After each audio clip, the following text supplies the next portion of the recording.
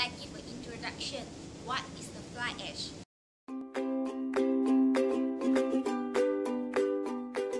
Fly ash is a supplementary cementitious material that produced from the coal-burning power plants.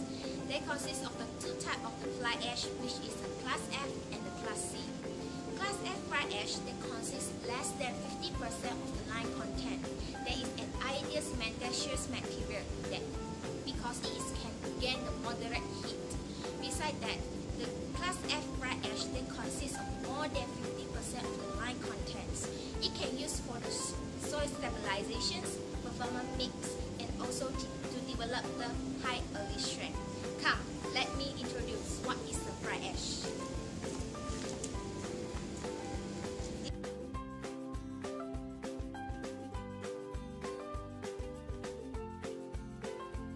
Nowadays, many research has been done on the high volume fly ash concrete. What is the fly ash high volume concrete? There's a concrete contains more than 50% of the fly ash used. What to the research, it can prove that high volume fly ash that it can to improve the performance of the concrete. What the performance have been improved? There's improved the durability, they resist more crack, and they have to develop the later strength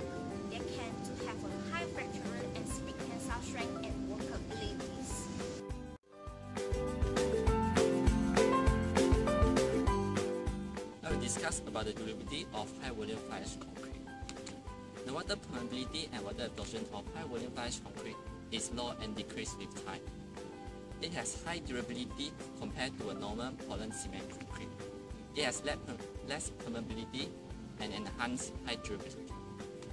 So based on the research done by the Malhotra, the high volume fly ash concrete with 14, 21, and 28 days of moisture curing has not significantly to freezing and thawing after 300 of cycling. Means it has good resistance to freezing and thawing uh, of fly ash, high volume fly ash concrete. High volume fly ash concrete has low chlorine ion penetration compared to normal Portland cement concrete. It has good resistance to the chlorine attack and it can reduce the chlorine diffusion and any deterioration to the concrete. For the alkali aggregate reaction, high volume fly ash concrete with alkali and without alkali is compared to a control sample with alkali and without alkali. The result shows that the high volume fly ash concrete has no expansion in the concrete mixture and it can reduce the expansion in terms of in terms of alkali aggregate reaction.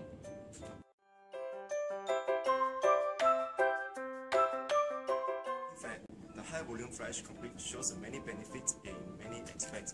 However, it may need some improvement to further optimize its performance.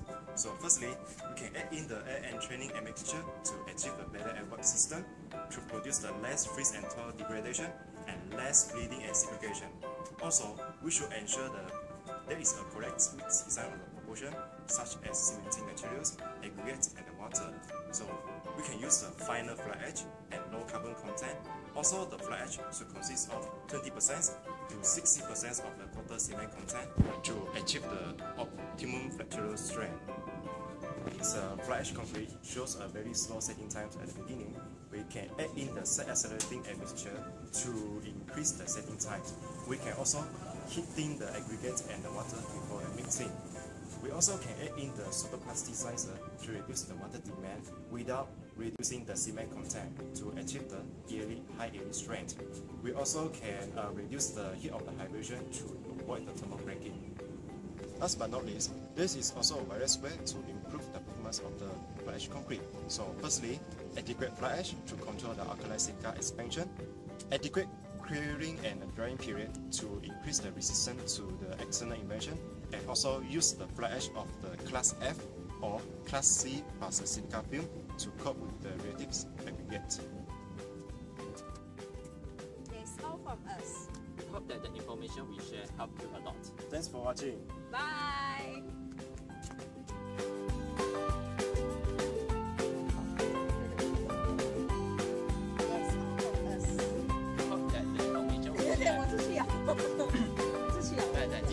对，这样好。